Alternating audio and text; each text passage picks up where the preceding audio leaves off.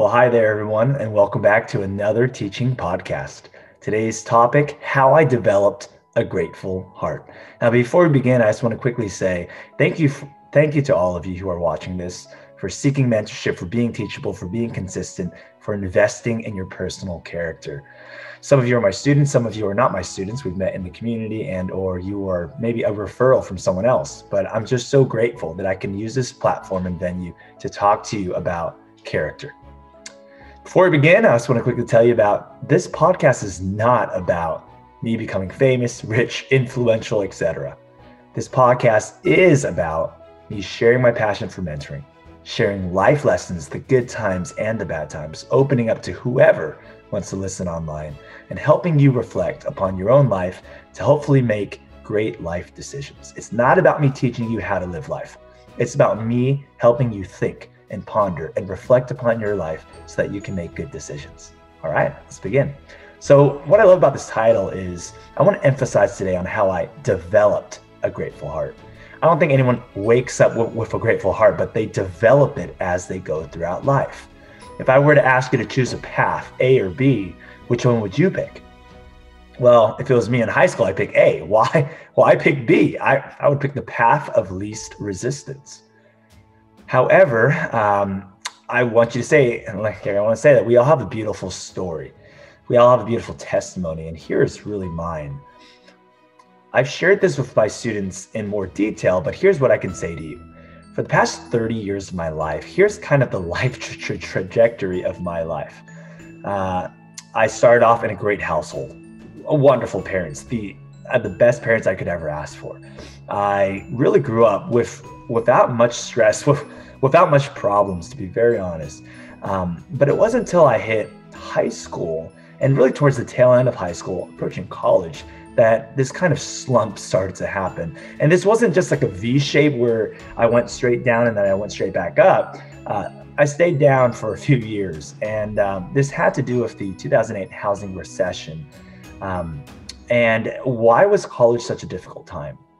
Well, this was a period of time in which I did not have stable housing. Um, I remember going from house to house. I remember staying in the living room. I remember sleeping in my car. So these are all real things. Um, I was away from my family. My family had to uh, move out of the OC. Um, like they were going through some different things as well. My my personal bank account was negative. I was at the age of 18, I was really on my own. And every time I checked my bank account for the next few years, it was always negative until I got my next paycheck. So it was it was really a, a time of instability. Um, I didn't really have any hope, and I didn't really have any purpose in in my life. Now, if that was the it, it'd be a pretty sad story because it would end there and say, "Oh wow, for my last couple years, right?" But but here's the thing about my life: if you take a look at the overall picture, this is usually how life ends up. Regardless of what you go through, it it almost come on, hundred percent, it always picks up. Right? So people ask me all the time, Mr. Chow, why are you so happy? Well, I feel as if through this situation and seeing where I am now in life compared to where I was my perspective has definitely changed. And I truly believe that through my pain, I developed gratitude gratitude for everything in my life. Whenever uh, people ask me, uh, what, like every, every, every single day, like, why are you smiling so much? Why are you so happy to be a teacher? Oh, I love my life. Why? Because I look at what I have now and I look at, and I think about what I had back then. It's night and day. I have a beautiful home. I have a beautiful wife. I have beautiful relationships. I have a beautiful career. I have beautiful purpose. I love waking up in the morning. Right. So, in short, there's so many things that I'm grateful for now that I got to be honest with you. If I never went through this period of time in which I struggled for just a few years, I don't think I'd have this perspective of gratefulness that I have now, this, this level of gratefulness that I have now. So, here's some takeaways. So here's how I really developed a grateful heart by really, really, really being grateful for everything I have. You know, my faith is a very important part of my life.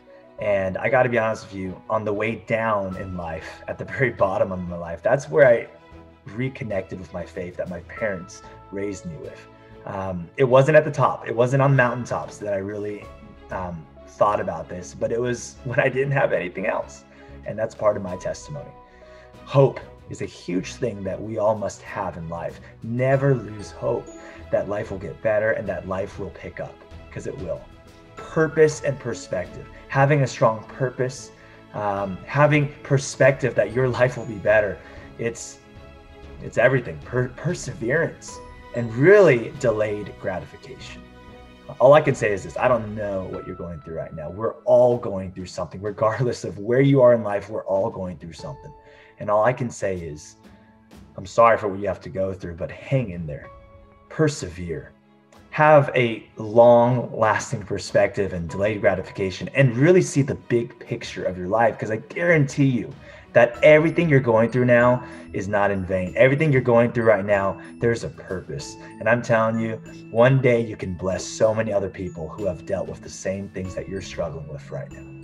So, my challenge to you is this number one, what are some things you can be more grateful for? Just think about that. What are some things that you take for granted, that I take for granted? Number two, how are you going to show this gratitude?